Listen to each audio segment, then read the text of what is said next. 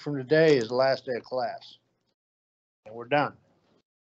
Uh, so if you, if you're not passing or your attendance is off a little bit, tomorrow's a makeup. Now, if you come and make up, crazy.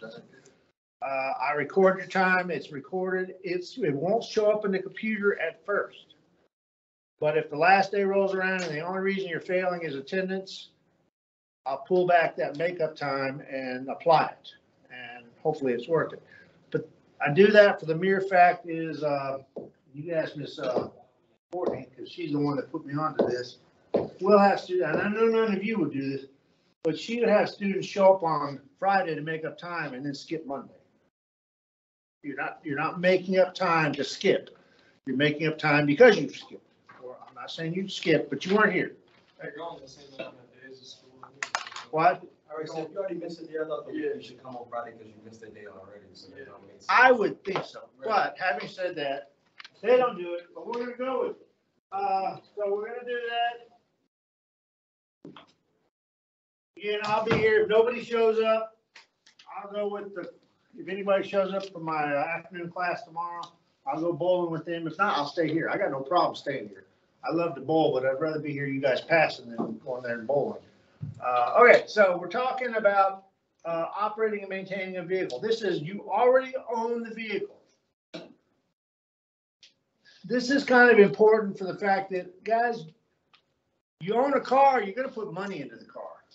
You don't just have it in great, you're gonna have, you're gonna have to put some money into it. At the very least, you gotta put gas in the car, which is an expense.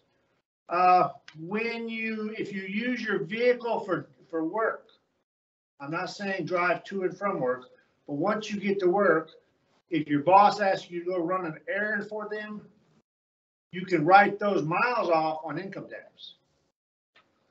Uh, so this is a way to figure out how much it costs to drive your vehicle. Uh, if your vehicle costs too much, and this is a way to figure out if it does, it may, it may lead you to believe, hey, I might want to get another vehicle. It's costing too much to drive what I got. So this is a way of doing it. So you're trying to figure out what your vehicle is doing, okay?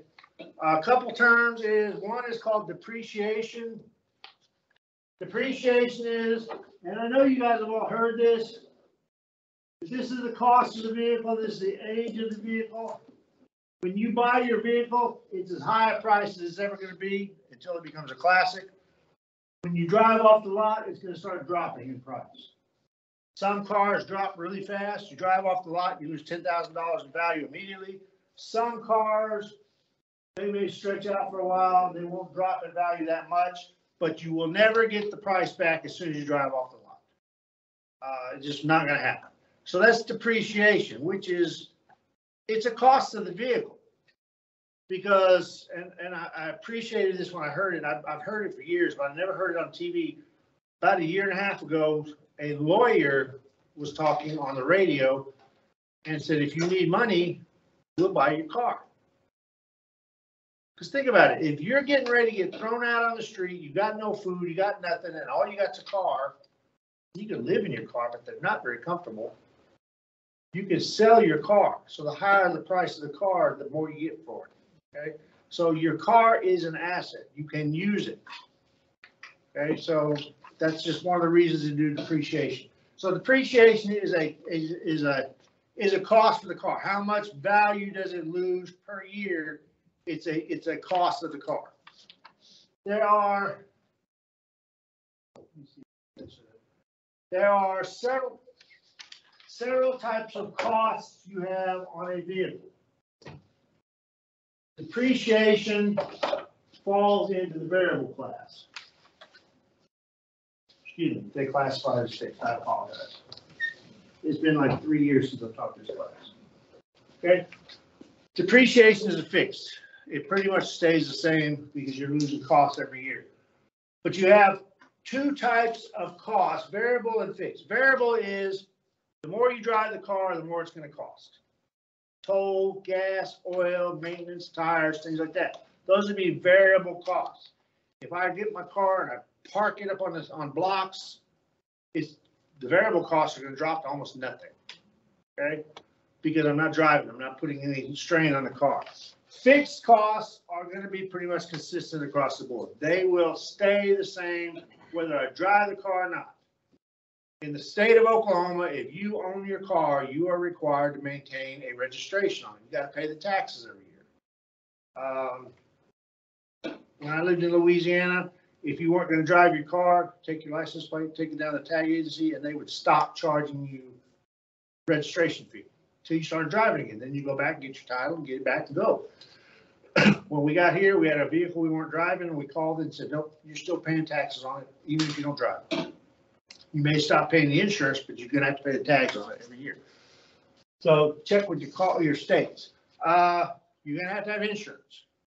Fixed insurance. Now, assuming you, if you park it, you can cancel your insurance, but as long as you're driving it, you gotta have insurance. Uh, you gotta pay taxes on it, you gotta pay registration on it, you gotta do some other things. Uh, Loan, if you're buying the car, you're gonna be paying interest on, it. you're gonna pay your interest on the loan. So that's an, that's a thing. Uh, depreciation, which is the last one is, that's actually a separate formula, but depreciation is, what did I buy my car for? What, when I bought my car, what was it worth? Okay, the second part of this is an estimate, because you don't know unless you actually sell your car, but you can use Kelley Blue Book. What is my car worth? If I sold it today, what would it be worth? And then, how many years have I owned my car? I bought my car three years ago. So, six thousand divided by three, my depreciation would be two thousand dollars. It's an expense on the car, two thousand dollars just because I lost that much value in my car the last three years, per year, okay? So what you're gonna do is, question number one, two, three, and four, they're all kind of related. Chantel Jones purchased a new two-door coupe for twenty-four thousand five ninety. That is what she bought it for. Okay, right now, she estimates, again, estimates, until she sells it, she don't know what she get it for. Nineteen thousand two nineteen. And that's two years ago.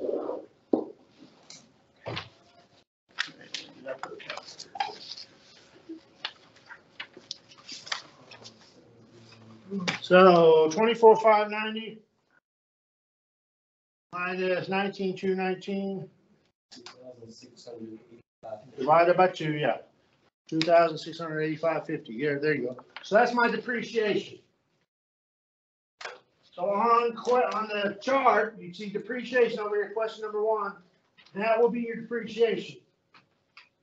So on question number one, you will put two thousand six hundred eighty-five fifty right there. Then what you're gonna do is you're gonna add up everything in the first column, the variable costs, fifteen seventy-six twenty-four for gas, seventy-one eighty-five for oil changes, one fifty-one thirty-six, one fifty-four thirty-six. For maintenance on the vehicle, I had to replace the belts, I had to change out the battery, I had to do stuff, okay?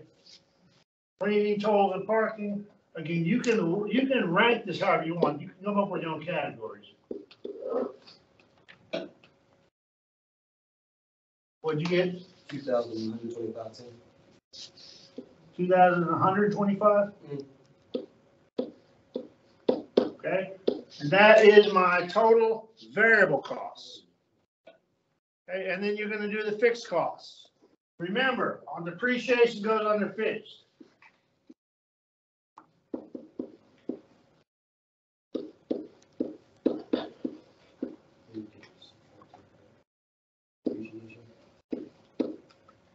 She said you subtract your variable cost from your depreciation? No, you, uh, no, you add depreciation into it. Oh.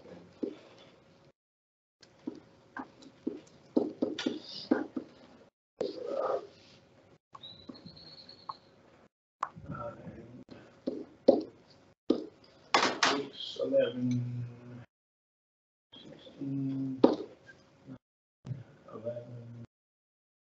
eighteen, twenty-seven, eleven, twelve, fifteen, twenty-one.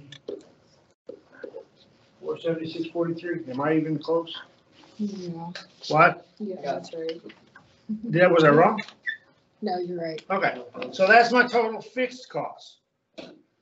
And the total annual cost is you add the fixed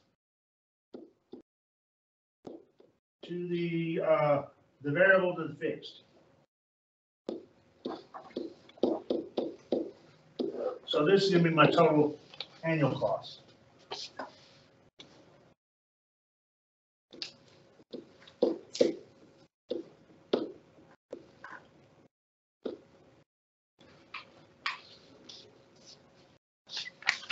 Make sure you check your math. Okay, so that would be my total annual. Now, it doesn't do this on this, I thought about doing this, I keep forgetting. Uh, From here, one of the things, and it's an index on what you do, and this is where the taxes come into, involved. Cost per mile. Okay? Cost per mile is a way for you to estimate how much it costs to drive your car. So what you do is you take the total cost that you got, I'm assuming this math is right. I didn't have a calculator. Check it to make sure. Which is three. Yeah. So it's three. I can't see. It is now. okay.